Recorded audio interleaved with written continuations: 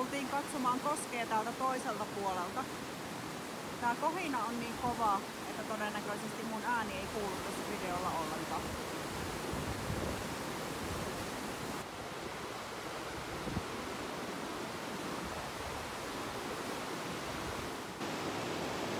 Mun oli tarkoitus mennä käymään tuolla saaressa, mutta ei puhettakaan, että uskaltaisin mennä tästä yli. Tää on ihan kauhea.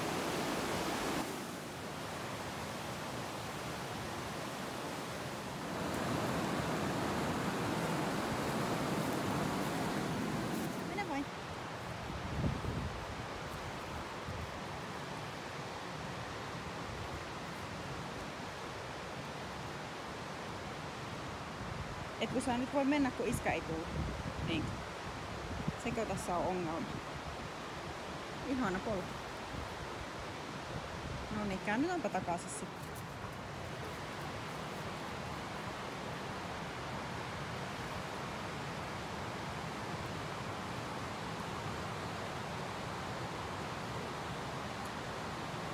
Paimenkoirat Dile. Äiti ja isi meni eri suuntiin. Iskä voitti.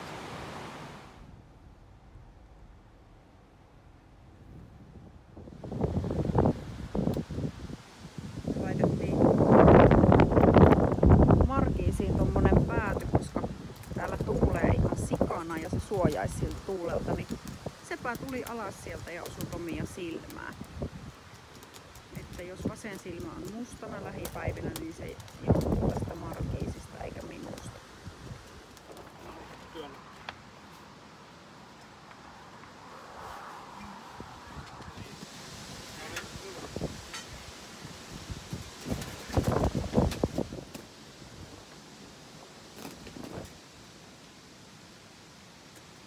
Pitääkö olla sellaiset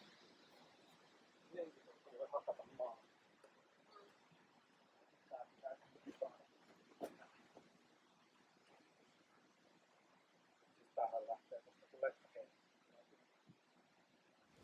Nyt on hyvä tuo muurikka.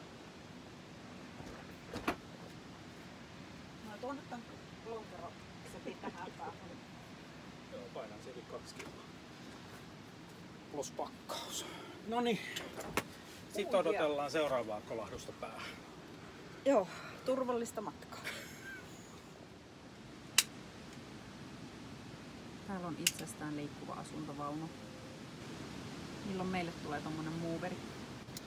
Ei meille tuu. Se ei ole hintansa Ai väärti meidän reissuilla. Ai Tai siinä kohtaa, hei, siinä kohtaa meille voi tulla moveri, että jos meille tulee kausipaikalle standby-teltta,